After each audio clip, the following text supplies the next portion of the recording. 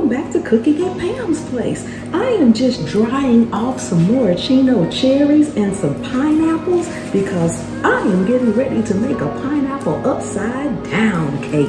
Oh my goodness, you guys are going to want to stay with me for this one because it's going to be amazing.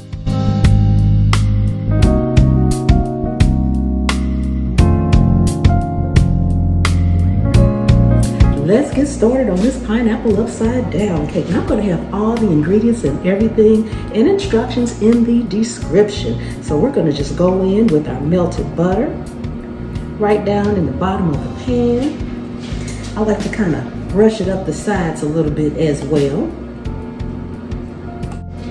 We're gonna take our brown sugar and sprinkle it right on top of this Butter as evenly as you can all around. Don't forget the corners. We know how we like when we cut into our cake, we like the corners. Now, come on. Now, most people are familiar with pineapple upside down cake to have pineapple rings with the cherry in the middle, but I do mine a little bit differently. This is cooking at Pam's Place way, so I'm using pineapple chunks.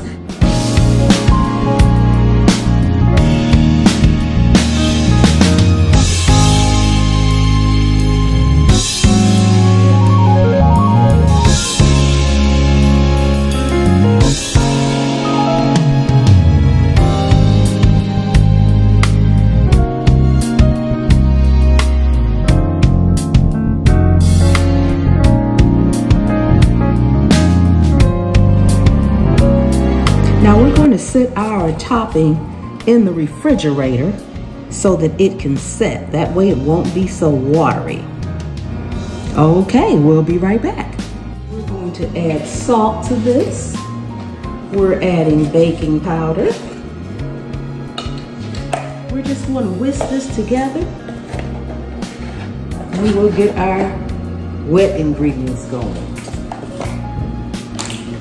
Make sure this is all whisked together really good. And set this aside. All right, we are going to beat our butter on high speed until it's nice, smooth, and creamy. Now we'll add in our sugar. Next, our egg whites. Next, sour cream and vanilla.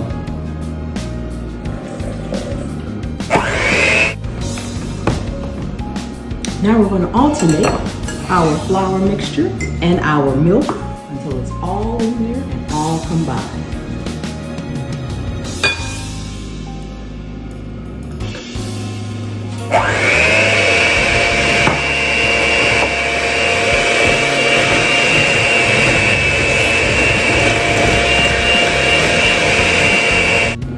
Now that we have everything in here, we're going to give it a good mix by hand. Set that aside. Uh, we are mixing this by hand at this point to make sure we do not overmix our batter.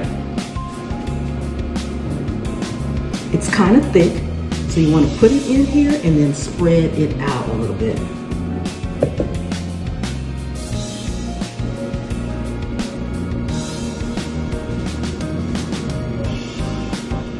Okay, we're going to go in a 350 degree oven for about 45 or 50 minutes and we'll be back. Okay, I just thought I'd drop in here for a second. We are at about the halfway mark of our cake. And I wanted to let you know at this point what you want to do is take a piece of foil and just lay it over the top of it. Don't push it down tight or anything. You don't want to create any steam but that'll keep it from over browning it's a very very thick cake batter but it's a thin cake. So it needs to cook thoroughly. So just lay a piece of foil over there. And while we're waiting guys if you're not subscribed go ahead and subscribe. Turn on the notification bell so you'll be there every time I upload a another amazing recipe. For those of you all who are subscribed, thank you so much. I really do appreciate each and every one of you guys. And for everybody watching this video, share it out, guys. Share it out. And when you get to the end of it, I've got a special treat for you guys. I've got a video that's been picked out just for you. So make sure you watch until the end and click on that video. I'm pretty sure you'll like what you see. Okay, I'm gonna go check on the cake again. We'll be back when it's all done. Okay guys, we are all done. Doesn't this look amazing? Now you can see why I don't use the circles. Oh my goodness.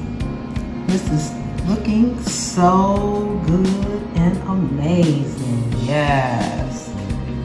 Okay, thank you all so much for coming. And until next time, be blessed.